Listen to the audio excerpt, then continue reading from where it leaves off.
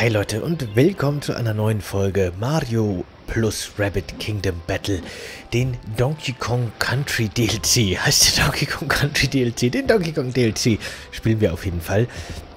Ich sammle hier mal noch die Banane. Die letzte Mission haben wir ein bisschen verkackt. Ich meine, wir haben es schon geschafft, aber das hätte besser laufen können. Aber wie dem auch sei, wir machen jetzt weiter. Ich bin zwar bei Spielen, die mir Spaß machen, und das ist definitiv eins davon, so ein Completionist. Also ich werde das auf jeden Fall, glaube ich, alles nochmal auf 100% perfektionieren. Aber das kann ich Art machen oder wenn, wenn wir Bock haben auf die Videos, machen wir es vielleicht gemeinsam nachträglich nochmal. Aber jetzt spielen wir hier erstmal, hey, Puzzle.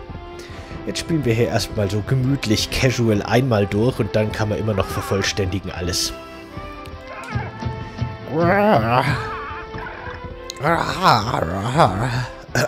Verzeihung. Ich bin, ich war früher mal professioneller Papagei-Impressionist. Oder so. Aber das ist lange her. Heute bin ich nur noch Papagei. Ich hoffe, ich irre mich, aber ich fürchte, diese Bo Boote sollen böse Bananen zu den nahegelegenen Inseln bringen. Wieso? Warum glaubst du, dass in dem Fass sind normale Bananen und in dem Bogen... Das ist eine absolut... Also das ist eine reine also da gibt es überhaupt keine Beweise dafür. Das kommt mir hier komisch vor. Gibt es hier wirklich nichts anderes zu tun? Ist hier wirklich... Ich habe das Gefühl, wir müssten irgendwie da hochkommen. Ah, Moment, wir kommen da hoch. Ich glaube, da waren wir schon, oder? Ja, da war das Puzzleteil. Ha, ich habe das Gefühl, hier wäre mehr. Aber vielleicht ist mein... Es stimmt einfach was mit meinem Gefühl nicht. Kanone schießt uns auch nirgends hin. Ich meine natürlich das Fass. Aber in der Donkey Kong Welt sind Fässer halt einfach mal Kanonen. Okay. Wie dem auch sei. Wir hoppeln weiter. Warte, hier war was. Zeig uns nochmal. Hey, wir sind hier nicht im Urlaub. Los, bau etwas Nützliches. Eine Bowlingbahn oder eine Burgerbude. Lass ihn doch baden. Vielleicht kann er aber auch eine Unterwasser-Bowling-Burger-Budenbahn bauen. Das wäre gut. Okay, that's creepy. Stell dir vor, du hast so eine auf deinem Armaturenbrett. Ich würde sofort den Bus nehmen. okay. Uh, eine Kreuzung. Ich schätze mal, das ist der Hauptweg. Dann nehmen wir den Nebenweg. Das ist schön das ist schön wie hier die Spielerführung. Oh, da ist noch ein Weg. Oh, dann bin ich jetzt verwirrt. Aber ich glaube, die Bananen und auch der Pfeil hier, ne, das zeigt uns alles so an. Okay, hier ist der Hauptweg. Wenn du einfach nur weiterspielen willst, geht da lang. Aber wenn du auf Schatzsuche bist, dann nimm doch hier den Weg, den so, der so dezent angedeutet wird. Und da ist auch noch einer. Kannst du auch mal gucken. Das, das gefällt mir dann weiß ich wenigstens, wo eigentlich der richtige Weg wäre. Es ist nicht wie in anderen Spielen, wo man dann oft schon irgendwie so ein, so ein, so ein paar Meter den einen Weg läuft und dann denkt man sich so, ah, aber jetzt weiß ich nicht, nicht, dass das der Hauptweg ist. Und dann geht man den Nebenweg. Sowas hasse ich. Aber vielleicht bin ich auch nur verrückt. ja, wie so oft. Wie ich schon oft gesagt habe, ich bin garantiert verrückt, aber vielleicht habe nur ich das Problem. Das muss ja nicht mit meiner Verrücktheit zusammenhängen welche Probleme ich habe und welche nicht. Okay, jetzt müssen wir hier dieses Rätsel lösen. Die sind teilweise echt ein bisschen knifflig. Aber jetzt schauen wir mal. Ähm...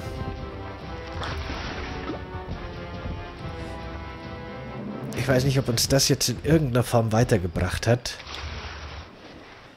Ich weiß, wie es uns weiterbringt. Moment. Genau. Okay. Schon langsam ergibt alles Sinn. Wirklich? Tut's das? Ich bin mir nicht sicher. Ähm. Äh, und jetzt? Ich sollte mich mal darauf konzentrieren, was eigentlich mein Ziel ist. Mein Ziel ist eigentlich, mir fällt zu schwer, Schalter und Plattform zu unterscheiden. Im Endeffekt ist mein Ziel, dass der blaue Schalter gedrückt wird. Und der blaue Schalter ist hier.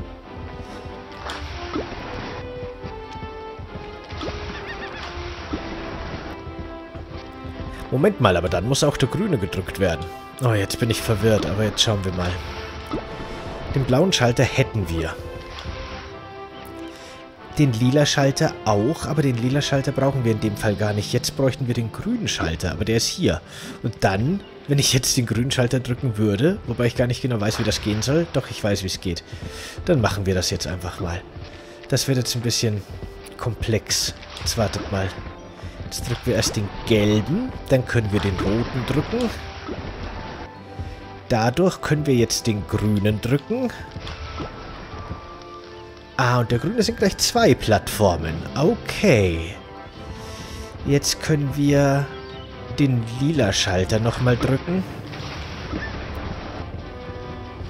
Dann können wir den blauen drücken und das Rätsel ist gelöst. Schwere Geburt. Aber lustig. Schönes Rätsel. Nicht zu schwer, aber auch nicht zu leicht.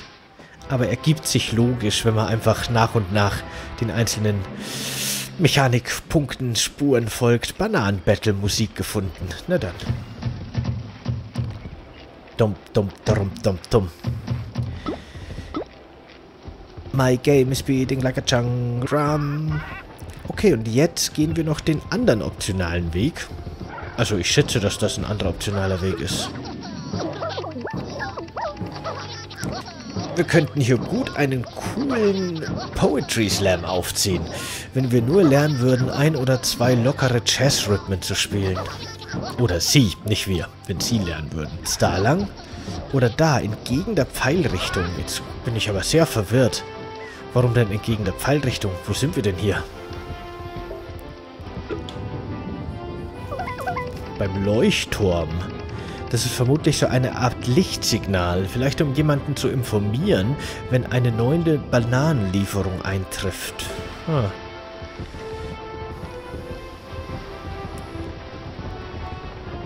Ah, mit einem Puzzleteil.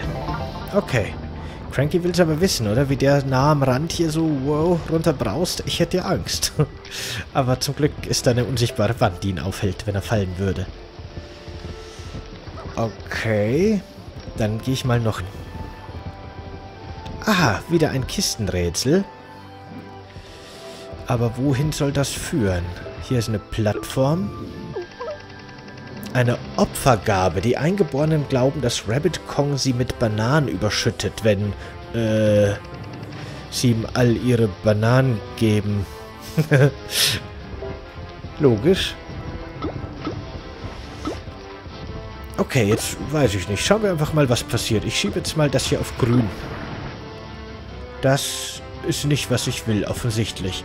Dann schiebe ich die mal auf blau. Das ist schon mal nicht schlecht. Wie sieht es mit rot aus? Ah, ich brauche auf jeden Fall schon mal gelb, sehe ich schon.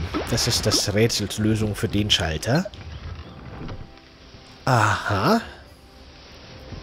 Okay. Was haben wir denn hier? Hier brauche ich grün und rot. Moment mal, wo ist denn bitte grün? Ah, grün ist da drüben. Ich verstehe schon. Okay. Das ist eigentlich leicht. Jetzt. Geht gar nicht anders. Ah, aber jetzt müssen auf jeden Fall...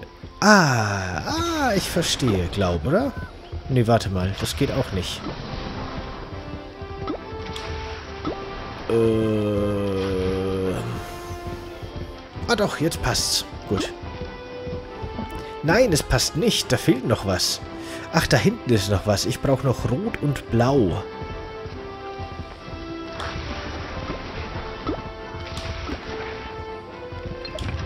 So. Und jetzt muss ich die nur wieder so zurückschieben, wie sie gerade waren.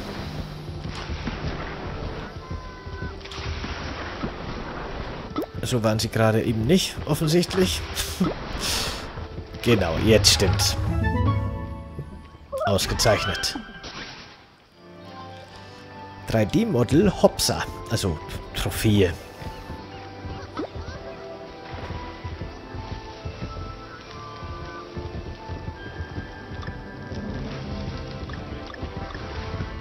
Aha. Und noch ein paar Bananen, die ins Nix führen. Da ruft doch die ganze Zeit ein Hase Hallo, aber ich sehe hier keinen Hasen.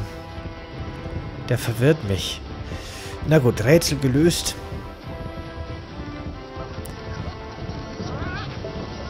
Dann gehen wir jetzt... Ah, das sind die beiden wieder.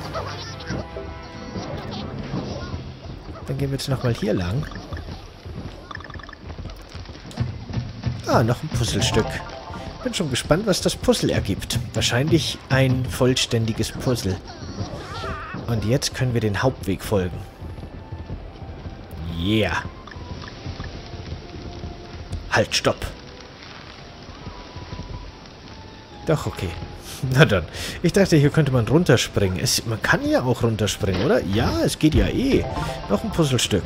Und eine Kanone, die uns irgendwo hin katapultiert. Ach so, zurück auf dem Hauptweg. Na gut.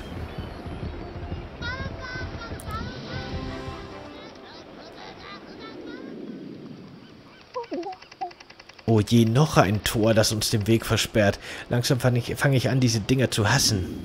Oder zu hasen. das Tor wird von zwei Totems bewacht. Sie sehen bedrohlich aus, aber scheinen den Schlüssel für das Rätsel der verschlossenen Tore aufzubewahren. Ah, weil diese großen Knöpfe gut sind? Für jedes Totem gibt es eigene Knöpfe. Und über dem Tor habe ich schon gesehen, genau. Ich kann nicht genau erkennen, was die Symbole auf den Tafeln bedeuten. Es geht um eine Art Gleichgewicht zwischen dem, was getan werden soll und was nicht getan werden soll. Das schauen wir uns gleich an. Ich möchte nur mal gucken, ob hier links und rechts irgendwas ist. Nee. Okay, jetzt pass mal auf. Ähm... Also. Äh.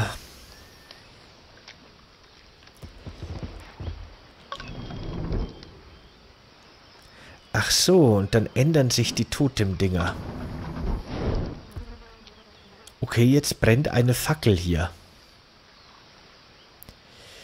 Weil hier die Krone ist. Aber was sind dann das für Symbole hier? Muss ich einfach so lange drehen, bis alle Fackeln brennen? Ist das die Lösung? Dann wäre das ein bisschen leicht, nämlich. Aha, Geheimweg. Oh, äh. Hä? Na, okay. Geht's wohl noch nicht weiter.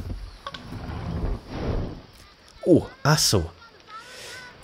Ich muss mir das jetzt mal anschauen. Also, Kro Krone? Nee, warte mal. Hörner. Nee. Die Krone geht nicht gemeinsam mit dem gezackten Mund. Das ist verboten. Mit dem Mund geht's. Aber der hier braucht noch andere Augen. Haben wir es gelöst, glaube ich. Ja. Ach so, nee. Weil die Augen funktionieren nicht zusammen mit dem Mund. Außerdem brauchen, glaube ich, beide den Mund. Ich muss noch den Mund hier ändern. Ja, genau. Okay. Wir haben es geschafft. Mann, das war leicht. Zu früh gefreut. Es gibt noch mehr zu tun. Das Plakat hier sollten wir näher untersuchen. Aha, jetzt muss ich dafür sorgen, dass kein Feuer brennt, oder wie? Wenn ich will, dass kein Feuer brennt, dann sollte ich erstmal diese gezackte Krone mit dem Mund hier kombinieren. Dann ist die schon mal weg vom Fenster. Außerdem muss ich hier die Augen noch verändern. Oder ich kombiniere diese Augen mit dem Mund. Nein, er hat immer noch die falschen Augen. Mist. Ah, ich weiß schon. Dann kombinieren wir hier den gezackten Mund mit der Krone. Und gegenüber machen wir diese Augen in Kombination mit dem, ups, mit dem runden Mund. Na also. Cool. Ich schätze, die goldene Kanone bringt uns jetzt in irgendein cooles Bonuslevel.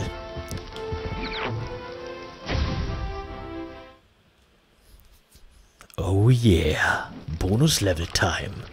Hier ist es fast ein bisschen unheimlich. In der Bananenmine. Das ist wirklich so eine Bananenmine. Ja, das ist witzig.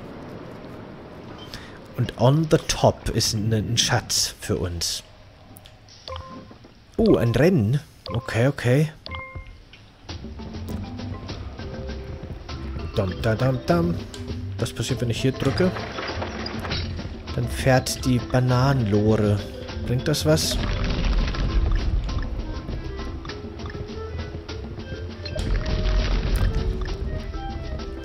Okay. Ich muss das höchstwahrscheinlich machen. Ich verstehe noch nicht warum, aber ich mach's lieber mal. Ah ja, okay. Ich muss die Lore nach oben bringen. Jetzt aber schnell. Oh nein. Yeah, letzte Sekunde. Ist das? Selfie-Stick. Äh, Goliath-Guppy. Ah, eine Spezialwaffe für Peach, für Rabbit Peach. Gegner, die diesen Unhold der Unterwelt aus dem Wasser ziehen, werden sich fragen, wer hier eigentlich wem am Haken hat. Okay, cool. Neue Waffe. Ich mag neue Waffen. Na dann, zurück auf den Hauptweg.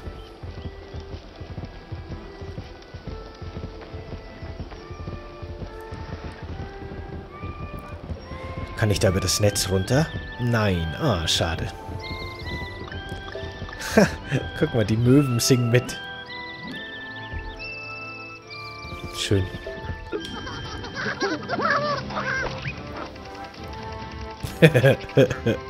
Das sieht man mal, dass man sich beim Essen auch ohne Besteck die Finger nicht schmutzig machen kann. Oder muss. das ist cool. So würde ich auch gern essen können. So, hier geht's zwar weiter, aber optionaler Weg schreit danach erkundet zu werden.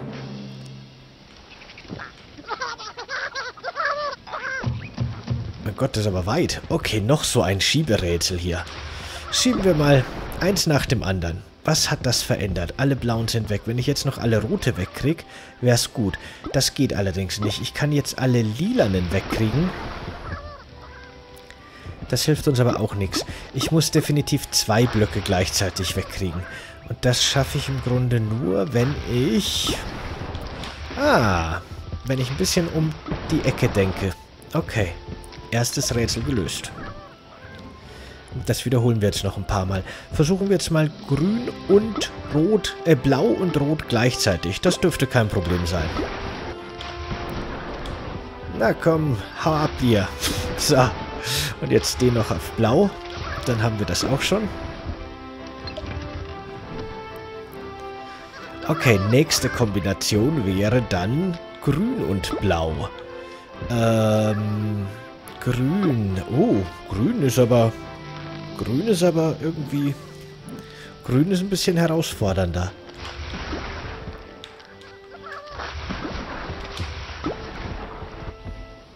Ja, und jetzt stehe ich da und guck blöd. Ah, ich weiß schon, wie wir grün machen. Natürlich. So herausfordernd ist es auch wieder nicht. Aber ich musste kurz überlegen. Das kann ich natürlich theoretisch beliebig fortsetzen jetzt. Ah, da machen wir gleich grün und rot, wenn wir es schon haben. Weil grün und blau ist viel leichter dann. Das ist gleich erledigt.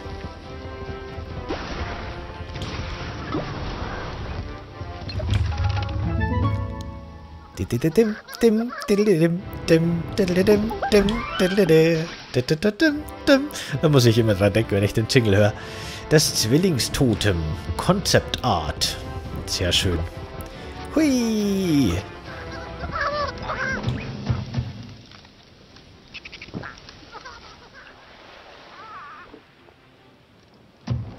Plopp. Und weiter. Oh ja, hier wartet Kampf 6 auf uns. Den machen wir aber erst in der nächsten Folge. Schön, dass ihr dabei wart bei dieser Rätselfolge heute, unerwarteterweise. Und morgen beginnt gleich wieder mit einem ordentlichen Kampf. Macht's gut, bis dann, ciao.